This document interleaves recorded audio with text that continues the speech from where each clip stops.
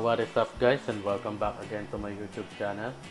PCT Gaming here and today I will going to teach you how you can download the new BlueStack 4 on your desktop or laptop. So let's get started guys. So unang kailangan yung gawin ay pumunta lang sa inyong mga browser. kailangan talaga ganun magsalita no. Pumunta lang sa inyong mga browser at sa aking channel guys. O kaya dito sa video na ito, mismong sa video na to guys. Dahil maglalagay ako ng link sa description ng video na to para ma-download nyo ang bagong BlueStack 4. Ito guys. Gaya nga nitong previous video ko, naglagay ako ng link para may download nyo bagong BlueStack 4. So, ang kailangan nyo lang gawin ay guys ay i-right click nyo tong link na to.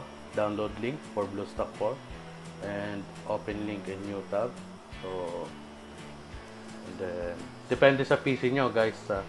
pero madedetect na naman ng nito kung naka-Mac kayo, Windows or Windows or something ganon. Madedetect na naman niya. Or kung for 64-bit or 32-bit, automatically na guys. Just click nyo lang tong download BlueStack version 4.30.50 for Windows. Click nyo guys. And then,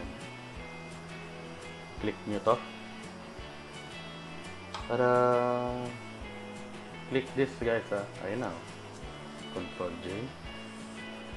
So, ngayon iintayin natin matapos siya bago mag bago tayo magpatuloy muli. So, kailangan ko muna i-post yung video, guys, para hindi tayo masyadong mahaba.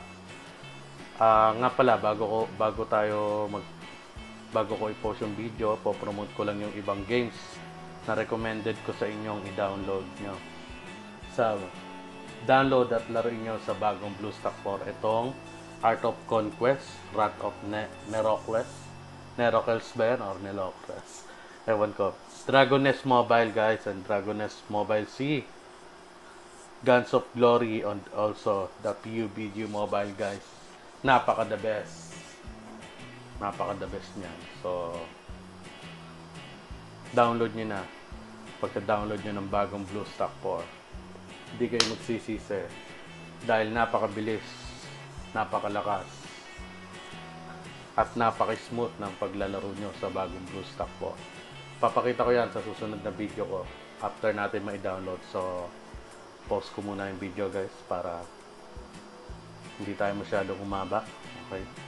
Magbabalik ako ah. Test mic. So, welcome back guys. Ayan na nga. Nakatapos na natin i-download tong file ng BlueStack 4. So, ngayon, kailangan na natin kunin yung installer. So, punta tayo sa folder. Show in folder guys. At eto siya. BlueStack installed or AMD 64. Yes, because I'm using 64-bit guys. So, kailangan nyo gawin na. I-click nyo lang. Dalawang beses. And then, wait for it. Grant permission. Yes. And customize install.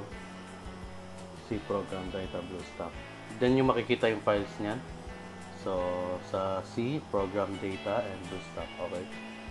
Back and check nyo to guys ha. Huwag nyo kakalimutan hindi check to. Accept software license na ngayon.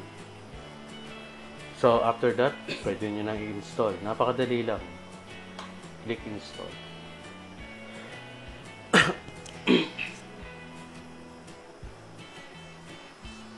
Korean katawan.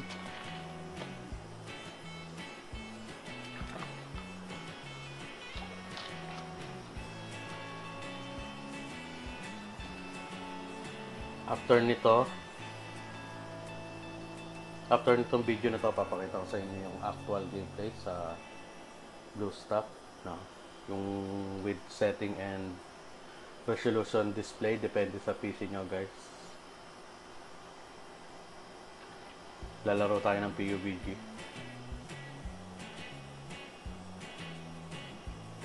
Siya nga pala, para sa mga gusto mag-download ng iba pang games sa BlueStack 4, nag-leave ako ng mga recommended link ko dyan guys. mga recommended link ko ng game na pwede nyo malaro sa BlueStack 4. Download nyo lang sa baba.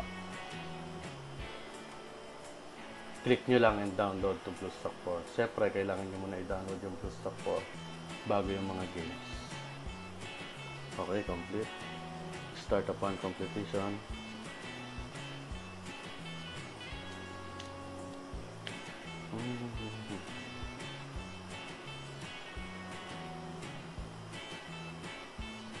Hindi na natin kailangan to. So.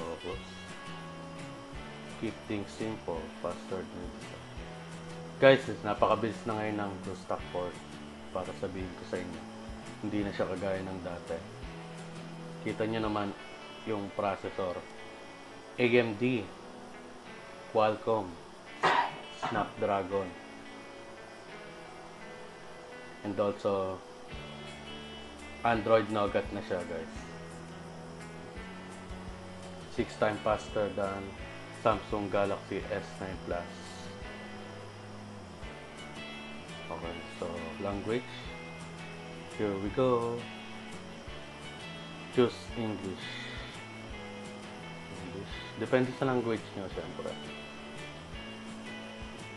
Ano sana yung English United States? Yan, United States. Let's go.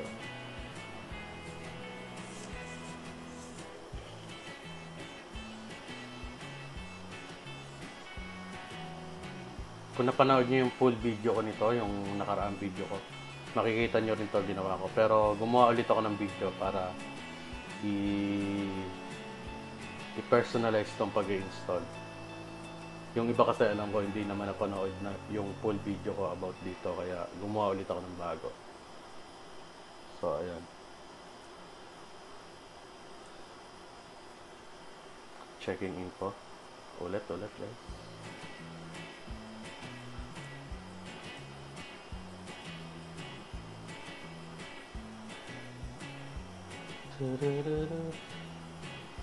So, kailangan maglagay ng Google account dito, yung account nyo. Ganun lang kasimple.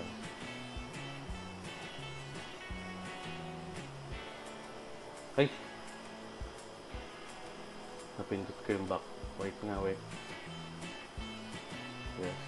Pag nagaganyan guys, close nyo lang siya. Then, reopen nyo pag na pag na ano niyo yung problem na yun. Minsan kasi ganun eh. Close nyo lang, then reopen nyo BlueStack. BlueStack.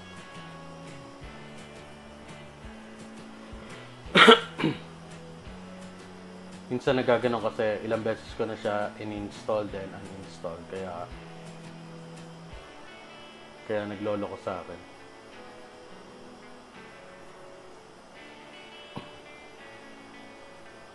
Okay, let's go.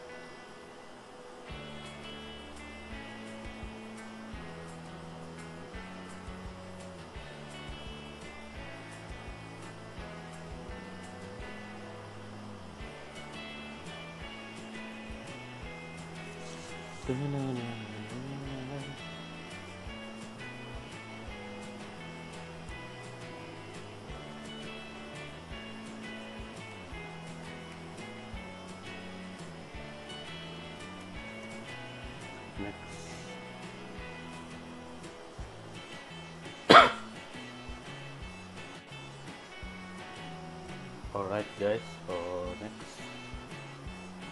Agree, yes of course. And, ayun lang. Ganun lang kasimple guys. Tandaan mo. Ganun lang kasimple. Ganun, ganun nyo lang may ma-i-install ang bagong BlueStack 4. So that's it guys. Thank you, thank you so much for watching this video. I hope you enjoy it and sana nakatulong to sa inyo. Thanks guys. PCT Gaming out. See you guys again on the next video. Bye.